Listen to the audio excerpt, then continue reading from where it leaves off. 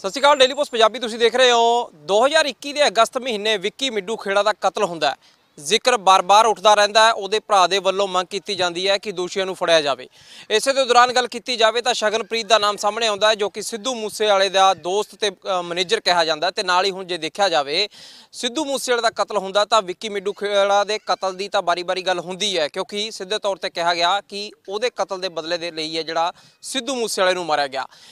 ਚਰਚਾ ਸ਼ਗਨਪ੍ਰੀਤ ਨੂੰ ਲੈ ਕੇ ਸ਼ੁਰੂ ਹੋਈ। ਸ਼ਗਨਪ੍ਰੀਤ ਅਜੇ ਵੀ ਬਾਹਰ ਹੈ। ਹਾਲਾਂਕਿ ਉਹਨੇ ਮਾਨਯੋਗ ਪੰਜਾਬ ਹਰਿਆਣਾ ਹਾਈ ਕੋਰਟ ਦੇ ਵਿੱਚ ਐਪਲੀਕੇਸ਼ਨ ਤਾਂ ਲਾਈ ਜਿਹੜੀ ਹੈ ਕਿ ਆਪਦੀ ਗ੍ਰਿਫਤਾਰੀ ਦੀ ਰੋਕ ਵਾਸਤੇ, ਪਰ ਉਹਦੇ ਚ ਤੁਹਾਨੂੰ ਕਿਸੇ ਤਰ੍ਹਾਂ ਦੀ ਰਾਹਤ ਮਿਲੀ, ਪਰ ਸੁਰੱਖਿਆ ਜ਼ਰੂਰ ਕਹਿ ਦਿੱਤੀ ਗਈ ਕਿ ਜਦੋਂ ਤੱਕ ਉਰੇ ਆਖਰਕਾਰ ਸ਼ਗਨਪ੍ਰੀਤ ਦੀ ਐਂਟਰੀ ਹੋਊਗੀ, ਜਦੋਂ ਆਸਟ੍ਰੇਲੀਆ ਤੋਂ ਜਿਹੜਾ ਕਿ ਪੰਜਾਬ ਕਹੀਏ ਵਾਪਸ ਆਊਗਾ ਤਾਂ ਉਹਦੀ ਸੁਰੱਖਿਆ ਪੁਖਤਾ ਕੀਤੀ ਜਾਵੇ। ਹੁਣ ਆਖਰਕਾਰ ਸ਼ਗਨਪ੍ਰੀਤ ਦਾ ਰੋਲ ਇਸ ਪੂਰੇ ਮਾਮਲੇ ਦੇ ਵਿੱਚ ਆਉਂਦਾ ਕਿੱਥੋਂ ਹੈ? ਕਿਉਂਕਿ ਜਿਸ ਤਰ੍ਹਾਂ ਦੇ ਨਾਲ ਜੇ ਦੇਖਿਆ ਜਾਵੇ, ਚਾਰ ਸ਼ੀਟ ਹੈ ਜਿਹੜੀ, ਉਹ ਦਾਖਲ ਕਰ ਦਿੱਤੀ ਹੈ ਕਿ ਵਿੱਕੀ ਮਿੱਡੂ ਖੇੜਾ ਦੇ ਕਤਲ ਮਾਮਲੇ ਨੂੰ ਲੈ ਕੇ ਮੋਹਾਲੀ ਪੁਲਿਸ ਦੇ ਵੱਲੋਂ ਤੇ ਉਹਦੇ ਵਿੱਚ 10 ਨਾਮ ਨੇ, ਜਿਹਦੇ 'ਚ ਗੱਲ ਕੀਤੀ ਜਾਵੇ, ਪਹਿਲਾ ਨਾਂ ਸ਼ਗਨਪ੍ਰੀਤ,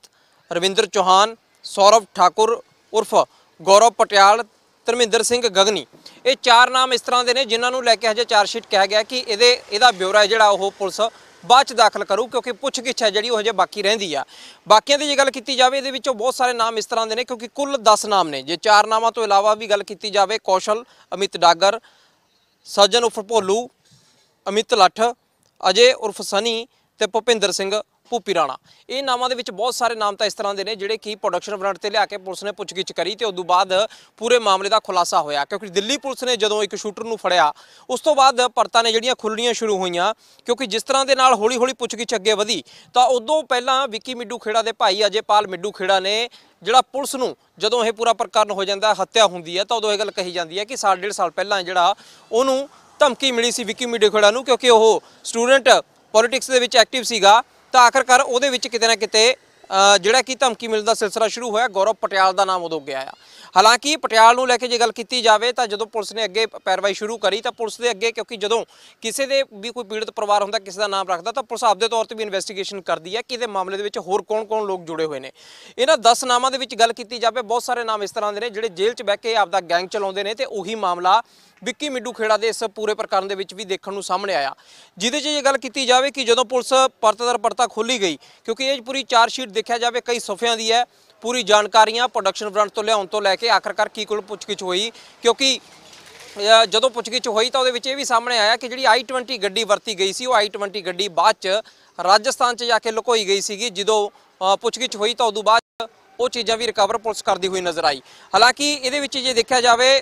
ਸਿੱਧੇ ਤੌਰ ਤੇ ਜਦੋਂ ਧਮਕੀ ਦਿੱਤੀ ਗਈ, ਧਮਕੀ ਤੋਂ ਬਾਅਦ ਦਾ ਸਿਲਸਿਲਾ ਉਦੋਂ ਪੁਸ਼ਟੀ ਹੁੰਦੀ ਹੋਈ ਨਜ਼ਰ ਆਈ, ਜਦੋਂ ਫੇਸਬੁੱਕ ਤੇ ਬਬੀਹਾ ਗਰੁੱਪ ਦੇ ਵੱਲੋਂ ਜ਼ਿੰਮੇਵਾਰੀ ਲੈ ਲਈ ਗਈ ਸੀ ਕਿ ਅਸੀਂ ਵਿੱਕੀ ਮਿੱਡੂ ਖੇੜਾ ਦਾ ਕਤਲ ਕਰਵਾਇਆ। ਉਦੋਂ ਬਾਅਦ ਜੇ ਗੱਲ ਕੀਤੀ ਜਾਵੇ ਤਾਂ ਗੌਰਵ ਪਟਿਆਲ ਜਿਹੜਾ ਕਿ ਅਰਮਾਨੀਆ ਜੇਲ੍ਹ 'ਚ ਬੰਦ ਹੈ ਤਾਂ ਮੋਹਾਲੀ ਪੁਲਿਸ ਉਹਦਾ ਐਲਓਸੀ ਵੀ ਕੋਰਟ ਤੋਂ 18/8/2021 ਨੂੰ ਜਾਰੀ ਕਰਵਾਉਂਦੀ ਹੈ ਤਾਂ ਕਿ ਅੱਗੇ ਦੀ ਜਿਹੜੀ ਕਾਰਵਾਈ ਹੈ ਉਹ ਵਧਾਈ ਜਾਵੇ। ਨਾਮ ਪਰਤ ਦਰ ਪਰਤ ਚੱਲਦੇ ਰਹੇ। ਸਭ ਤੋਂ ਪਹਿਲਾਂ ਅਮਿਤ ਡਾਗਰ ਨੂੰ ਜਦੋਂ ਜੇ ਕਹੀਏ ਅ, ਮੰਡੋਲੀ ਦੀ ਸੈਂਟਰਲ ਜੇਲ੍ਹ ਚੋਂ ਲੈ ਕੇ ਆਉਂਦੀ ਹੈ ਉਸ ਤੋਂ ਬਾਅਦ ਪੁੱਛਗਿੱਛ ਦਾ ਸਿਲਸਿਲਾ ਤੇਜ਼ ਕਰਦੀ ਹੈ ਮੋਹਾਲੀ ਪੁਲਿਸ। ਇਸੇ ਦੇ ਦੌਰਾਨ ਜੇ ਗੱਲ ਕੀਤੀ ਜਾਵੇ ਤਾਂ ਅਜੇਪਾਲ ਮਿੱਡੂ ਖੇੜਾ ਬਾਰੀ-ਬਾਰੀ, ਕਦੇ ਕੈਂਡਲ ਮਾਰਚ, ਕਦੇ ਪ੍ਰੈਸ ਕਾਨਫਰੰਸਾਂ ਕਰਕੇ ਪੁਲਿਸ ਤੋਂ ਗੁਹਾਰ ਲਗਾਉਂਦਾ ਰਿਹਾ ਕਿ ਆਖਰ ਤੇਜ਼ ਕਾਰਵਾਈ ਕੀਤੀ ਜਾਵੇ ਤਾਂ ਕਿ ਉਹਦੇ ਭਾਈ ਦੇ ਹੱਤਿਆਰਾਂ ਨੂੰ ਫੜਿਆ ਜਾਵੇ ਤੇ ਉਹਨੂੰ ਇਨਸਾਫ ਮਿਲ ਸਕੇ ਤੇ ਉਹਨੇ ਖੁਦ ਵੀ ਇਹ ਗੱਲ ਜ਼ਾਹਿਰ ਕਰੀ ਸੀ ਕਿ ਉਹਨੂੰ ਧਮਕੀਆਂ ਮਿਲ ਰਹੀਆਂ ਨੇ। ਅਮਿਤ ਡਾਗਰ ਨੂੰ ਜਦੋਂ ਫੜਿਆ ਗਿਆ ਤਾਂ ਉਸ ਤੋਂ ਬਾਅਦ ਕਿਤੇ ਨਾ ਕਿਤੇ ਸਪਸ਼ਟ ਹੁੰਦਾ ਹੋਇਆ ਨਜ਼ਰ ਆਇਆ ਕਿ ਸੱਜਣ ਭੋਲੂ ਨੇ ਜਿਹੜੀ ਹੈ ਕਿ ਗੋਲੀ ਚਲਾਈ ਸੀ ਵਿ- ਵਿੱਕੀ ਮਿੱਡੂ ਖੇੜਾ ਦੇ ਉੱਤੇ ਤੇ ਦੂਜਾ ਜਿਹੜਾ ਸੀਗਾ, ਅਮਿਤ ਡਾਗਰ ਕਹਿੰਦਾ ਮੈਂ ਜਾਣਦਾ ਨਹੀਂ ਹੈਗਾ, ਉਹ ਕੌਣ ਸ਼ਖਸ ਸੀਗਾ? ਪਰ ਇੱਕ ਚੀਜ਼ ਉੱਥੋਂ ਸਪਸ਼ਟ ਹੋ ਗਈ, ਅਮਿਤ ਡਾਗਰ ਦੀ ਪੁੱਛਗਿੱਛ ਤੋਂ ਬਾਅਦ ਜਦੋਂ ਪ੍ਰੋਡਕਸ਼ਨ ਫਰੰਟ ਤੇ ਲਿਆ ਕੇ ਕਰੀ, ਕਿ ਆਖਰਕਾਰ ਕਤਲ ਹੈ ਜਿਹੜਾ, ਉਹ ਇਹੀ ਲੋਕਾਂ ਦੇ ਪੂਰੇ ਇੱਕ ਸਾਜ਼ਿਸ਼ ਦੇ ਨਾਲ ਹੋਇਆ ਕਨਸਪੀਰੇਸੀ ਹੈ ਜਿਹੜੀ ਉਹ ਰਚੀ ਜਾਂਦੀ ਹੈ। ਉਦੋਂ ਬਾਅਦ ਕਰੀਏ ਤਾਂ ਕੌਸ਼ਲ ਕੌਸ਼ਲ ਦਾ ਵੀ ਹੈ ਜਿਹੜਾ ਪ੍ਰੋਡਕਸ਼ਨ ਫਰੰਟ ਪੁਲਿਸ ਨੇ ਲਿਆਂਦਾ ਪ੍ਰੋਡਕਸ਼ਨ ਫਰੰਟ ਤੋਂ ਬਾਅਦ ਸੀਆਈਏ ਖਰੜ ਦੇ ਵਿੱਚ, ਜਿਵੇਂ ਕਿ ਹੁਣ ਲਾਰੈਂਸ ਬਿਸ਼ਨੋਈ ਤੇ ਜੱਗੂ ਭਗਵਾਨਪੁਰੀਆ ਨੂੰ ਇੱਕ ਦਿਨ ਆਮਣੋ ਸਾਹਮਣੇ ਬਿਠਾ ਕੇ ਵੀ ਪੁੱਛਗਿੱਛ ਕੀਤੀ ਗਈ ਸੀ, ਸਿੱਧੂ ਮੂਸੇਵਾਲਾ ਮਰਡਰ ਕੇਸ ਦੇ ਵਿੱਚ। ਉਸੇ ਤਰ੍ਹਾਂ ਦੇ ਨਾਲ ਸੀਆਈਏ ਖਰੜ ਹੀ ਜਿਹੜਾ ਕਿ ਇਹਨਾਂ ਦੀ ਪੁੱਛਗਿੱਛ ਵੀ ਹੁੰਦੀ ਹੈ, ਜਿਹਦੇ ਵਿੱਚ ਅਮਿਤ ਡਾਗਰ ਤੇ ਕੌਸ਼ਲ ਨੂੰ ਹੈ ਜਿਹੜਾ 3 11 2021 ਨੂੰ ਇਕੱਠੇ ਬਿਠਾਇਆ ਜਾਂਦਾ ਹੈ। ਉਦੋਂ ਬਾਅਦ ਫਿਰ ਜੇ ਦੇਖਿਆ ਜਾਵੇ, ਜਦੋਂ ਦੋਨੇ ਮੁਜ਼ਮਾਂ ਦੀ ਜੇ ਗੱਲ ਕੀਤੀ ਜਾਵੇ, ਜਿਹੜੀ ਪੁੱਛਗਿੱਛ ਹੁੰਦੀ ਹੈ ਜਦੋਂ ਕ੍ਰਾਸ ਐਗਜ਼ਾਮੀਨੇਸ਼ਨ ਜਦੋਂ ਕਹੀਏ ਕਿ ਪੁਲਿਸ ਆਪਦੇ ਲੈਵਲ ਤੇ ਕਰਦੀ ਹੈ ਤਾਂ ਉਹਦੇ ਵਿੱਚ ਨਿਕਲ ਕੇ ਆਉਂਦਾ ਕਿ ਆਖਰ ਫਿਰ ਕਿਹੜੇ ਕਿਹੜੇ ਲੋਕ ਹੋਰ ਇਸ ਪੂਰੇ ਕਤਲ ਦੇ ਵਿੱਚ ਸ਼ਾਮਲ ਨੇ? ਕਿਉਂਕਿ ਦੇਖੋ, ਪੁਲਿਸ ਵਾਸਤੇ ਦੋ ਵੱਡੀਆਂ ਚੁਣੌਤੀਆਂ ਹੁੰਦੀਆਂ ਨੇ, ਜਦੋਂ ਇਸ ਤਰ੍ਹਾਂ ਦਾ ਕੋਈ ਵੱਡਾ ਮਾਮਲਾ ਉਲਝਦਾ। ਇੱਕ ਆਖਰਕਾਰ ਕੌਣ-ਕੌਣ ਲੋਕ ਸ਼ਾਮਲ ਨੇ? ਕਿੱਥੇ ਕਿੱਥੋਂ ਹਥਿਆਰ ਆਏ? ਕਿੱਥੇ ਕਿੱਥੇ ਕਿਹੜੀ ਗੱਡੀ ਵਰਤੀ ਗਈ? ਕਿਹੜਾ ਕਿਵੇਂ ਕਿੱਥੇ ਰਿਹਾ ਤੇ ਕਿੱਥੇ ਗਿਆ? ਦੂਜਾ ਇਹ ਕਿ ਆਖਰਕਾਰ ਇਹ ਪੂਰੀ ਸਾਜ਼ਿਸ਼ ਦੇ ਪਿੱਛੇ ਹੈ ਕੌਣ-ਕੌਣ? ਹੁਣ ਅਮਿਤ ਡਾਗਰ ਅਤੇ ਜਿਹੜੀ ਕੌਸ਼ਲ ਦੀ ਜਦੋਂ 3 11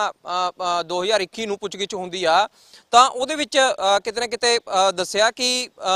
ਅਮਿਤ ਡਾਗਰ ਨੇ ਇਹ ਗੱਲ ਮੰਨੀ ਕਿ ਜਿਹੜਾ ਪਟਿਆਲਾ ਦੇ ਵੱਲੋਂ ਕਿਹਾ ਗਿਆ ਸੀਗਾ ਤਾਲਮੇਲ ਬਿਠਾਉਣ ਦੇ ਲਈ ਕੌਸ਼ਲ ਨੂੰ। ਕੌਸ਼ਲ ਤੇ ਯਾਨੀ ਕਿ ਪਟਿਆਲਾ ਦੀ ਆਪਸ ਦੇ ਵਿੱਚ ਗੱਲਬਾਤ ਹੁੰਦੀ ਹੈ ਵਿੱਕੀ ਮਿੱਡੂ ਖੇੜਾ ਦੇ ਕਤਲ ਦੇ ਲਈ। ਜਿਸ ਤੋਂ ਬਾਅਦ ਅਮਿਤ ਡਾਗਰ ਦੇ ਨਾਲ ਸੰਪਰਕ ਹੈ ਜਿਹੜਾ ਕੌਸ਼ਲ ਸਾਧਦਾ ਦਾ ਕਿ ਆਖਰਕਾਰ ਫਿਰ ਅੱਗੇ ਸ਼ੁਰੂਆਤ ਹੁੰਦੀ ਹੈ ਵੀ ਕਿਹੜੇ ਕਿਹੜੇ ਲੋਕਾਂ ਦੀ ਕਿਵੇਂ ਕਿਵੇਂ ਜ਼ਿੰਮੇਵਾਰੀ ਦਿੱਤੀ ਜਾਵੇ, ਕੌਣ ਆਖਰ ਜਾ ਕੇ ਕਤਲ ਜਿਹੜਾ ਕਰਦਾ ਹੋਇਆ ਨਜ਼ਰ ਆਊਗਾ। ਤੇ ਇਸੇ ਦੇ ਦੌਰਾਨ ਜੇ ਕਿਹਾ ਜਾਵੇ ਤਾਂ ਜਿਹੜੀ i20 ਗੱਡੀ ਸੀਗੀ, ਉਸੇ ਦੇ ਦੌਰਾਨ ਉਹਨਾਂ ਨੇ ਇਹੀ ਪੁੱਛਗਿੱਛ ਦੇ ਵਿੱਚ ਦੱਸਿਆ ਕਿ ਅਸੀਂ ਰਾਜਸਥਾਨ ਲਕੋਈ ਹੋਈ ਹੈ ਜੇਕਰ ਤੁਸੀਂ ਜਾ ਕੇ ਦੇਖੋਗੇ ਤਾਂ ਉੱਥੋਂ ਮਿਲ ਜੂ। ਹਾਲਾਂਕਿ ਉਹ ਚੀਜ਼ਾਂ ਸਾਰੀਆਂ ਨੇ ਜਿਹੜੀਆਂ ਰਿਕਵਰ ਵੀ ਹੋ ਗਈਆਂ ਸੀ ਗਲਤ ਨੰਬਰ ਪਲੇਟਾਂ ਵੀ ਰਿਕਵਰ ਹੋ ਗਈਆਂ ਸੀਗੀਆਂ। ਤਾਂ ਨਾਲ ਨਾਲ ਜੇ ਕਿਹਾ ਜਾਵੇ ਤਾਂ ਧਰਮਿੰਦਰ ਗਗਨੀ, ਇਹਨੂੰ ਵੀ ਪੁਲਿਸ ਨੇ ਪ੍ਰੋਡਕਸ਼ਨ ਫਰੰਟ ਤੋਂ ਦਿੱਲੀ ਦੀ ਤਿਹਾੜ ਜੇਲ੍ਹ ਤੋਂ ਲਿਆ ਕੇ ਪੁੱਛਗਿੱਛ ਕੀਤੀ, ਜਿਹਦੇ ਵਿੱਚ ਕਈ ਚੀਜ਼ਾਂ ਦੇ ਖੁਲਾਸੇ ਹੁੰਦੇ ਗਏ। ਇਸੇ ਤਰ੍ਹਾਂ ਦੇ ਨਾਲ ਫਿਰ ਜੇ ਕਹੀਏ ਸਨੀ ਦੇ ਕਹਿਣ ਤੇ, ਜਿਹੜਾ ਕਿ ਸ਼ੂਟਰ ਹੈ, ਸ਼ਨੀ ਸਨੀ ਦੇ ਕਹਿਣ ਤੇ 6/4/2022 ਨੂੰ ਸ਼ਗਨਪ੍ਰੀਤ ਦੀ ਐਂਟਰੀ ਹੋ ਗਈ। ਸ਼ਗਨਪ੍ਰੀਤ ਦਾ ਜਦ ਨਾਮ ਅੱਗੇ ਆਇਆ ਤਾਂ ਉਦੋਂ ਬਾਅਦ ਲਗਾਤਾਰ ਚਰਚਾਵਾਂ ਇਹ ਵੀ ਰਹੀਆਂ ਵੀ ਜਾਣ ਬੁੱਝ ਕੇ ਸ਼ਗਨਪ੍ਰੀਤ ਹੈ ਜਿਹੜਾ ਕਿ ਆਸਟ੍ਰੇਲੀਆ ਭੱਜ ਜਾਂਦਾ ਕਈ ਲੋਕ ਇਹ ਵੀ ਗੱਲ ਕਹਿੰਦੇ ਰਹੇ ਕਿ ਆਖਰਕਾਰ ਕਿਤੇ ਨਾ ਕਿਤੇ ਪ੍ਰੀ ਪਲਾਨਡ ਸੀ, ਜਦੋਂ ਉਹਨੂੰ ਭਣਕ ਲੱਗੀ ਕਿ ਦਿੱਲੀ ਦੇ ਵਿੱਚ ਜਿਹੜੀ ਗ੍ਰਿਫਤਾਰੀ ਹੋਈ ਆ, ਕਿਉਂਕਿ ਦਿੱਲੀ ਦੇ ਵਿੱਚ ਜਦੋਂ ਗ੍ਰਿਫਤਾਰੀ ਹੁੰਦੀ ਹੈ ਸ਼ੂਟਰ ਦੀ, ਤਾਂ ਉਦੋਂ ਬਾਅਦ ਅਜੇਪਾਲ ਮਿੱਡੂ ਖੇੜਾ ਦੀ ਹੀ। ਇਹ ਵੀ ਤੁਹਾਨੂੰ ਦੱਸ ਦਈਏ ਕਿ ਆਖਰਕਾਰ ਜਦੋਂ ਇਹਦੀ ਗ੍ਰਿਫਤਾਰੀ ਹੋਈ ਹੈਗੀ ਪੁਲਿਸ ਦਿੱਲੀ ਪੁਲਿਸ ਨੇ ਮੇਲ ਭੇਜੀ। ਹਾਲਾਂਕਿ ਮੋਹਾਲੀ ਪੁਲਿਸ ਨੂੰ ਮੇਲ ਦੇ ਮੇਲ ਦੇ ਜ਼ਰੀਏ ਤਮਾਮ ਦੱਸਿਆ ਕਿ ਉਹ ਸਾਡੇ ਕੋਲ ਕਤਲ ਮੰਨ ਚੁੱਕਿਆ ਤੇ ਤੋਂ ਬਾਅਦ ਫਿਰ ਅਜੇਪਾਲ ਮਿੱਡੂ ਖੇੜਾ ਨੇ ਦੁਬਾਰੇ ਫਿਰ ਪੁਲਿਸ ਕੋਲੇ ਜਿਹੜੀ ਕਿ ਚਾਰ ਸ਼ੀਟ ਦੇ ਵਿੱਚ ਦਾਖਲ ਕੀਤੀ ਗਈ ਹੈ ਕਿ ਉਹਦੇ ਵੱਲੋਂ ਦੱਸਿਆ ਗਿਆ ਕਿ ਹਾਂ ਕਿਉਂਕਿ ਅ, ਅਜੇਪਾਲ ਮਿੱਡੂ ਖੇੜਾ ਨੇ ਇਹ ਗੱਲ ਪਹਿਲਾਂ ਕਹਿੰਦੇ ਸੀ ਕਿ ਜੇਕਰ ਮੇਰੇ ਸਾਹਮਣੇ ਲਿਆਂਦੇ ਜਾਣ ਕਿਉਂਕਿ ਵੀਡੀਓ ਸੀਸੀਟੀਵੀ ਫੁਟੇਜ ਸੀ ਉਹਦੀ ਤੇ ਉਹ ਸੀਸੀਟੀਵੀ ਦੇ ਜ਼ਰੀਏ ਮੈਂ ਪਹਿਚਾਨ ਸਕਦਾ ਕਿ ਆਖਰ ਕੌਣ-ਕੌਣ ਸ਼ੂਟਰ ਸੀਗਾ। ਉਦੋਂ ਬਾਅਦ ਸ਼ਗਨਪ੍ਰੀਤ ਦੀ ਐਂਟਰੀ ਹੁੰਦੀ ਹੈ। ਕੁੱਲ ਮਿਲਾ ਕੇ ਦੇਖਿਆ ਜਾਵੇ ਜਿਹੜਾ ਆਖਰ ਦੇ ਵਿੱਚ ਅੰਜਾਮ ਦਿੱਤਾ ਉਹਦੇ ਵਿੱਚ ਅਮਿਤ ਲੱਠ, ਸੱਜਣ ਭੋਲੂ ਤੇ ਸਨੀ। ਇਹ ਲੋਕ ਸੀਗੇ ਜਿਹੜੇ ਕਿ ਪਹਿਲਾਂ ਸਭ ਤੋਂ ਆਉਂਦੇ ਨੇਗੇ ਰਵਿੰਦਰ ਚੌਹਾਨ ਜਿਹਦਾ ਇੱਕ ਨਾਮ ਸ਼ਾਮਲ ਕਰਿਆ ਗਿਆ। ਇਹ ਹਰਿਆਣੇ ਦਾ ਰਹਿਣ ਵਾਲਾ ਤੇ ਇਹਦੇ ਹੀ ਫਲੈਟ ਦੇ ਵਿੱਚ ਆ ਕੇ ਪਹਿਲਾਂ ਰੁਕਦੇ ਨੇ। ਫਿਰ ਉਸ ਤੋਂ ਬਾਅਦ ਸ਼ਗਨਪ੍ਰੀਤ ਦੀ ਜਦੋਂ ਐਂਟਰੀ ਹੁੰਦੀ ਹੈ ਤਾਂ ਉਹ ਲੈ ਕੇ ਜਾਂਦਾ ਇਹਨਾਂ ਨੂੰ ਸੁਹਾਣਾ ਗੁਰਦੁਆਰਾ ਸਾਹਿਬ ਦੇ ਕੋਲੋਂ। ਜਿਹੜਾ ਕਿ ਦੱਸਿਆ ਜਾਂਦਾ ਕਿ ਸੁਹਾਣੇ ਤੋਂ ਲੈ ਕੇ ਜਾਂਦਾ ਹੈ। ਆਖਰਕਾਰ ਫਿਰ ਰਾਤ ਨੂੰ ਰੁਕਵਾਉਂਦਾ ਹੈ ਜਲਵਾਯੂ ਇਨਕਲੇਵ ਵਿੱਚ। ਉੱਥੇ ਜਦੋਂ ਰੁਕਵਾਉਂਦਾ ਤਾਂ ਨਾਲ ਨਾਲ ਜੇ ਕਿਹਾ ਜਾਵੇ ਕਿ ਅੱਗੇ ਦੀ ਪੂਰੀ ਪਲੈਨਿੰਗ ਕਿਸ ਤਰ੍ਹਾਂ ਦੀ ਰਹਿੰਦੀ ਆ? ਗੇੜੇ ਸਨੀ ਕਲੇਵ ਦੇ ਵੀ ਲੱਗਦੇ ਨੇ, ਜਲਵਾਯੂ ਦੇ ਵੀ ਲੱਗਦੇ ਨੇ ਤੇ ਨਾਲ ਨਾਲ ਜੇ ਕਿਹਾ ਜਾਵੇ, ਜਿਹੜੇ ਸ਼ਖਸ ਨੇ, ਜਾਣਕਾਰੀ ਉੱਥੇ ਦਿੱਤੀ ਹੈਗੀ ਕਿਉਂਕਿ ਚਾਰ ਸ਼ੀਟ ਬਹੁਤ ਲੰਬੀ ਆ, ਉਹਦੇ ਵਿੱਚ ਇਹ ਗੱਲ ਦੱਸੀ ਕਿ ਆਖਰਕਾਰ ਕਿਸ ਤਰ੍ਹਾਂ ਦੇ ਨਾਲ ਪਹਿਲਾਂ ਚਾਰ ਜਣਿਆਂ ਨੂੰ ਉਹ ਨਾਲ ਲੈ ਕੇ ਆਉਂਦਾ ਫਿਰ ਜਦੋਂ ਮੈਂ ਉਹਨਾਂ ਨੂੰ ਚਾਹ ਪਾਣੀ ਉੱਥੇ ਦਿਨਾ, ਉਦੋਂ ਬਾਅਦ ਉਹਨਾਂ ਦੇ ਖਾਣੇ ਬਾਰੇ ਪੁੱਛਦਾ ਤਾਂ ਫਿਰ ਸ਼ਗਨਪ੍ਰੀਤ ਹੀ ਜਿਹੜਾ ਕਿ 24/7 ਤੋਂ ਖਾਣਾ ਲੈ ਕੇ ਆਉਂਦਾ ਉਹਨਾਂ ਮੁੰਡਿਆਂ ਦੇ ਵਾਸਤੇ ਜਿਹੜੇ ਚਾਰ ਉਹਦੇ ਨਾਲ ਆਉਂਦੇ ਨੇਗੇ ਉਹਨਾਂ ਵਾਸਤੇ ਖਾਣਾ ਲੈ ਕੇ ਆਉਂਦਾ ਇੱਕ ਮੁੰਡਾ ਉਹਨਾਂ ਚੋਂ ਚਲੇ ਜਾਂਦਾ ਤਿੰਨ ਜਣੇ ਉੱਥੇ ਹੀ ਠਹਿਰ ਜਾਂਦੇ ਨੇ ਹਾਲਾਂਕਿ ਉਹਨੇ ਇਹ ਗੱਲ ਵੀ ਕਹੀ ਕਿ ਜਦੋਂ ਮੇਰੇ ਨਾਲ ਕੋਈ ਗੱਲਬਾਤ ਹੋਈ ਤਾਂ ਮੈਨੂੰ ਇਹ ਲੱਗਦਾ ਸੀ ਵੀ ਸ਼ਾਇਦ ਇਹ ਵੀ ਕੋਈ 뮤직 ਇੰਡਸਟਰੀ ਦੇ ਬੰਦੇ ਨੇ ਕਿਉਂਕਿ ਸ਼ਗਨਪ੍ਰੀਤ ਵੀ 뮤직 ਇੰਡਸਟਰੀ ਦੇ ਨਾਲ ਜੁੜਿਆ ਹੋਇਆ ਸੀ ਤੇ ਜਿਹੜੇ ਸ਼ਖਸ ਦੇ ਕੋਲੇ ਅੱਗੇ ਵੀ ਜਾਂਦੇ ਨੇ ਉਹ ਵੀ 뮤직 ਇੰਡਸਟਰੀ ਦੇ ਨਾਲ ਜੁੜਿਆ ਹੋਇਆ ਸੀ ਉਹਨਾਂ ਨੇ ਅ, ਜਿਸ ਤਰ੍ਹਾਂ ਦੇ ਨਾਲ ਅੱਗੇ ਅੱਗੇ ਫਿਰ ਕਹਾਣੀ ਜੇ ਕਿਹਾ ਜਾਵੇ ਤਾਂ ਸਭ ਤੋਂ ਜ਼ਿਆਦਾ ਜਿਹੜੀ ਇਹ ਸੁਲਝੀ ਜਾਂ ਕਹੀਏ ਗੁੱਥੀ ਉਲਝੀ ਹੋਈ ਜਿਹੜੀ ਸੁਲਝੀ ਉਹ ਜਦੋਂ ਕੌਸ਼ਲ ਤੇ ਅਮਿਤ ਡਾਗਰ ਨੂੰ ਆਮਣੋ ਸਾਹਮਣੇ ਬਿਠਾਇਆ ਜਾਂਦਾ ਉਸ ਤੋਂ ਬਾਅਦ ਜੇ ਇਹ ਗੱਲ ਕੀਤੀ ਜਾਵੇ ਤਾਂ ਜਦੋਂ ਅ, ਪਰਤ ਦਰ ਪਰਤ ਅੱਗੇ ਕ- ਖੁੱਲਦੇ ਜਾਂਦੇ ਹੈ, ਨਾਮ ਅੱਗੇ ਰੱਖਦੇ ਜਾਂਦੇ ਨੇ ਉਹਦੇ ਨਾਲ ਨਾਲ ਇਹੀ ਗੱਲਾਂ ਸਪਸ਼ਟ ਹੁੰਦੀਆਂ ਨੇ ਕਿ ਸ਼ਗਨਪ੍ਰੀਤ ਨੇ ਕਿਵੇਂ ਪਹਿਲਾਂ ਉਹਨਾਂ ਨੂੰ ਲਿਜਾ ਕੇ ਠਹਿਰਾਇਆ। ਠਹਿਰਾਉਣ ਤੋਂ ਬਾਅਦ ਫਿਰ ਆਖਰਕਾਰ ਰੈਕੀ ਕਰਵਾਈ। ਸਨੀ ਜਦੋਂ ਮੌਕੇ ਤੇ ਸੀਗਾ ਕਿਉਂਕਿ ਇੱਕ ਦਿਨ ਜਦੋਂ ਇਹ ਜਿੱਦੇ ਜਿਸ ਦਿਨ ਕਤਲ ਹੁੰਦਾ ਹੈਗਾ ਵਿੱਕੀ ਮਿੱਡੂ ਖੇੜਾ ਦਾ, ਉਦੋਂ ਦੌਰਾਨ ਉਹ ਗੱਡੀ ਲੈ ਕੇ ਪਹਿਲਾਂ ਉਹਦੇ ਘਰ ਦੇ ਕੋਲੇ ਜਾਂਦੇ ਨੇ, ਪਰ ਜਦੋਂ ਲੋਕਾਂ ਨੂੰ ਕਹਿੰਦੇ ਸ਼ੱਕ ਹੁੰਦਾ ਤਾਂ ਫਿਰ ਅਸੀਂ ਗੱਡੀ ਇੱਥੋਂ ਲੈ ਕੇ ਚੱਲ ਜਾਂਦੇ ਆ ਪਰ ਸਨੀ ਨੂੰ ਛੱਡ ਦਿੱਤਾ ਜਾਂਦਾ ਉਹਦੀ ਰੈਕੀ ਕਰਨ ਵਾਸਤੇ ਕਿ ਕਦੋਂ ਉਹ ਨਿਕਲੂਗਾ ਬਾਹਰ। ਤੇ ਜਦੋਂ ਸਨੀ ਨੂੰ ਇਹ ਗੱਲ ਪਤਾ ਲੱਗਦੀ ਹੈ ਵੀ ਵਿੱਕੀ ਮਿੱਡੂ ਖੇੜਾ ਉਹਨਾਂ ਦੀ ਅੱਖੋਂ ਪਰੋਲੇ ਨਿਕਲ ਚੁੱਕਿਆ ਹੈ ਤੇ ਗੱਡੀ ਹੈ ਜਿਹੜੀ ਪਿੱਛੇ ਮਾਰਕੀਟ 'ਚ ਖੜੀ ਹੈ, ਇੱਕ ਪ੍ਰਾਪਰਟੀ ਡੀਲਰ ਦੇ ਉਹ ਖੜਾ। ਉਸ ਤੋਂ ਬਾਅਦ ਫਿਰ ਕਤਲ ਦੀ ਜਿਹੜੀਆਂ ਤਸਵੀਰਾਂ ਸੀ ਉਹ ਸਭ ਨੇ ਦੇਖੀਆਂ ਨੇ। ਹੁਣ ਆਖਰਕਾਰ ਜਿਹੜੇ ਕਹੀਏ ਕਿ ਪੂਰੀ ਜਾਂਚ ਪੁਲਿਸ ਨੇ ਕਈ ਪੁਆਇੰਟਸ ਜਿਹੜੇ ਛੱਡੇ ਨੇ, ਉਹਨਾਂ ਦੇ ਵਿੱਚ ਇਹ ਚੀਜ਼ ਹੈ ਕਿ ਜਦੋਂ ਸ਼ਗਨਪ੍ਰੀਤ ਦੀ ਗ੍ਰਿਫਤਾਰੀ ਹੋ ਹੁਣ ਸ਼ਗਨਪ੍ਰੀਤ ਬਾਰ-ਬਾਰ ਕੋਰਟ ਦੇ ਕੋਲ ਇਹ ਗੱਲ ਕਹਿ ਰਿਹਾ ਹੈ ਕਿ ਜਿਸ ਤਰ੍ਹਾਂ ਦੇ ਨਾਲ ਮੈਨੂੰ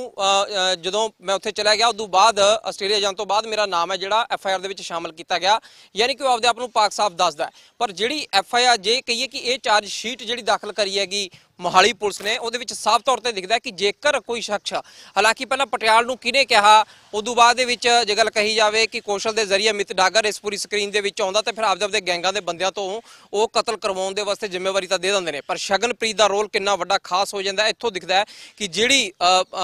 ਮੌਕੇ ਤੇ ਆਏ ਸ਼ੂਟਰਾਂ ਦੇ ਵੱਲੋਂ ਇਹ ਗੱਲ ਦੱਸੀ ਗਈ ਕਿ ਸ਼ਗਨਪ੍ਰੀਤ ਹੀ ਲੈ ਕੇ ਆਉਂਦਾ, ਸ਼ਗਨਪ੍ਰੀਤ ਹੀ ਛੱਡ ਕੇ ਆਉਂਦਾ ਉਦੋਂ ਬਾਅਦ ਦੇ ਵਿੱਚ ਰੈਕੀ ਹੁੰਦੀ ਆ, ਫਿਰ ਕਤਲ ਵਿੱਕੀ ਮਿੱਡੂ ਖੇੜਾ ਦਾ ਹੁੰਦਾ, ਤਾਂ ਆਖਰਕਾਰ ਇਸੇ ਚੀਜ਼ਾਂ ਨੂੰ, ਆਧਾਰ ਨੂੰ ਦੇਖਦੇ ਹੋਏ ਆ ਜਿਹੜਾ ਕੋਰਟ ਨੇ ਜ਼ਮਾਨਤ ਨਹੀਂ ਦਿੱਤੀ ਜਾਂ ਕਹੀਏ ਕਿ ਉਹਦੀ ਗ੍ਰਿਫਤਾਰੀ ਤੇ ਰੋਕ ਤਾਂ ਨਹੀਂ ਲਾਈ ਹੈਗੀ, ਪਰ ਇਹਨਾਂ ਜਿਹਾ ਕਹਿਤਾ ਹੈ ਕਿ ਜਦੋਂ ਉਰੇ ਆਉਣਾ ਉਹਨੇ, ਕਿਉਂਕਿ ਸਿੱਧੂ ਮੂਸੇਵਾਲੇ ਕਤਲ ਮਾਮਲੇ ਤੋਂ ਬਾਅਦ ਜੇ ਦੇਖਿਆ ਜਾਵੇ, ਸ਼ਗਨਪ੍ਰੀਤ ਨੂੰ ਲੈ ਕੇ ਕਿਤੇ ਨਾ ਕਿਤੇ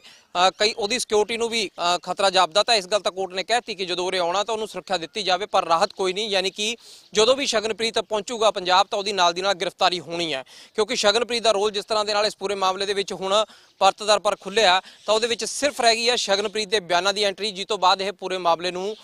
ਜਿਹੜਾ ਕਿ ਕੋਰਟ ਦੇ ਸਨਮੁਖ ਕੀਤਾ ਜਾਊਗਾ ਚਾਰ ਸ਼ੀਟ ਜਿਵੇਂ ਚਾਰ ਦਾ ਜਣਿਆਂ ਦੇ ਨਾਂ ਨੂੰ ਰਹਿੰਦੇ ਨੇ ਹਜੇ, ਤਾਂ ਉਦੋਂ ਬਾਅਦ ਉਹਨਾਂ ਦਾ ਵੀ ਪੂਰਾ ਪੂਰਾ ਵੇਰਵਾ ਪਾ ਕੇ ਜਿਹੜਾ ਹੈ, ਕੋਰਟ ਦੇ ਵਿੱਚ ਦੱਸਿਆ ਜਾਊਗਾ। ਹੁਣ ਸ਼ਗਨਪ੍ਰੀਤ ਜਿਹੜੀਆਂ ਗੱਲਾਂ ਕਹਿੰਦਾ ਤਾਂ ਆਖਰ ਕਰਕੇ ਇਹਨਾਂ ਦੇ ਨਾਲ ਮੈਚ ਕਰਕੇ ਜੇ ਦੇਖਿਆ ਜਾਵੇ, ਤਾਂ ਪੁਲਿਸ ਉਹ ਬਿਆਨਾਂ ਨੂੰ ਵੀ ਨਾਲ ਰਿਕਾਰਡ ਕਰੂਗੀ ਕਿ ਆਖਰਕਾਰ ਇਹ ਲੋਕ ਜਦੋਂ ਸ਼ਗਨਪ੍ਰੀਤ ਦਾ ਐਡਾ ਵੱਡਾ ਰੋਲ ਅਦਾ ਕਰ ਰਹੇ ਨੇ, ਤਾਂ ਸ਼ਗਨਪ੍ਰੀਤ ਨੂੰ ਕੀ ਨਹੀਂ ਸੀ ਪਤਾ ਕਿ ਵਿੱਕੀ ਮਿੱਡੂ ਖੇੜਾ ਦਾ ਕਤਲ ਕਰਨ ਵਾਸਤੇ ਇਹ ਲੋਕ ਆਏ ਨੇ। ਤੇ ਸ਼ਗਨਪ੍ਰੀਤ ਦਾ ਆਖਰ ਕੀ ਰੋਲ ਸੀਗਾ ਕਿ ਉਹ ਇਹਨਾਂ ਨੂੰ ਸਪੈਸ਼ਲੀ ਲੈ ਕੇ ਜਾਂਦਾ, ਠਹਿਰਾਉਂਦਾ, ਖਾਣਾ ਲੈ ਕੇ ਆਉਂਦਾ, ਫਿਰ ਜਿਹੜਾ ਕਿ ਉਹਨਾਂ ਨੂੰ ਲੈ ਕੇ ਜਾਂਦਾ, ਤਾਂ ਆਖਰਕਾਰ ਇੰਨੀ ਪੂਰੀ ਕੜੀ ਦੇ ਦੌਰਾਨ ਸ਼ਗਨਪ੍ਰੀਤ ਸ਼ਾਮਲ ਕਿਉਂ ਆਇਆ ਇਸ ਪੂਰੀ ਕਹਾਣੀ ਦੇ ਵਿੱਚ? ਸੀਨੀਅਰ ਵੀਡੀਓ ਜਰਨਲਿਸਟ ਕਮਲ ਦਨਾਸ ਮਿਸਿੰਗ ਡੇਲੀ ਪੋਸਟ ਪੰਜਾਬੀ, ਚੰਡੀਗੜ੍ਹ।